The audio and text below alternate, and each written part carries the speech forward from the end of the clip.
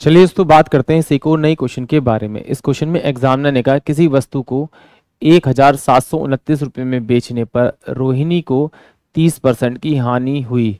सोलह परसेंट का लाभ प्राप्त करने के लिए उससे वस्तु को किस मूल्य पर बेचना चाहिए? तो चलिए आइए सॉल्व करते हैं।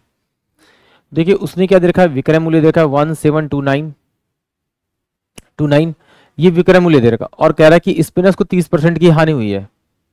और उसे सोलह परसेंट का प्रॉफिट चाहिए। तो सिंपल सी बात, अगर डायरेक्ट करना चाहते हैं तो इस तरह का जब भी क्वेश्चन आए तो जो हानि दे रखी उसको सौ में से माइनस कीजिए और उसको डिवाइड कर दीजिए। और इन टू में क्या लिख दीजिए, जो प्रॉफिट निकालना है, उसमें सौ ऐड करके उसको यहाँ लिख दीजिए।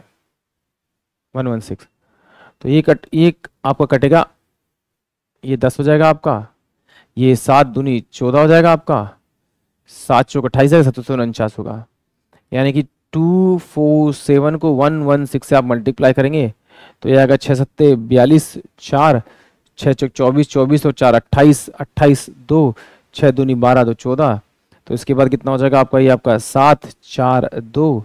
फिर हो जाएगा आपका सात, चार, दो। ऐड करेंगे तो दो, पंद्रह पंद्रह, आठ आठ, चार, बारह बारह बारह और चार, सोलह। तो ये कितना होगा आपका? चार, दो, छः, सात, आठ और दो। पॉइंट अट्ठाईस। पैंसठ पॉइंट टू अट्ठाईस पैंसठ पॉइंट टू यानी कि ऑप्शन जो सी होगा, वो इस क्वेश्चन के लिए करेक्ट हुआ एक बार फिर देख लेते हैं सॉल्व कर लेते हैं एक बार।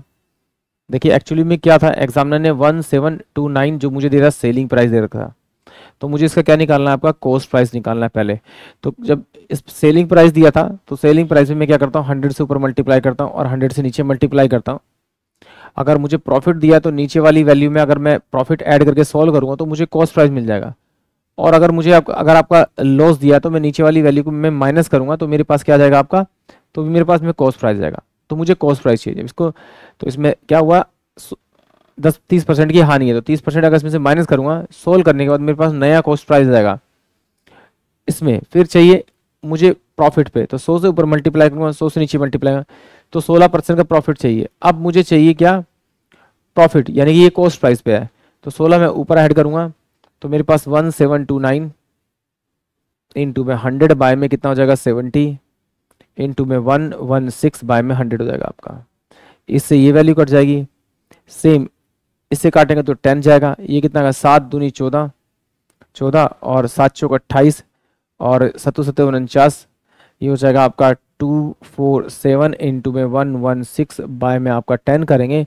तो ऑप्शन जो सी होगा, वो इस क्वेश्चन के लिए करेक्ट आंसर आएगा। आई होप आप सभी क्वेश्चन समझ में आया होगा।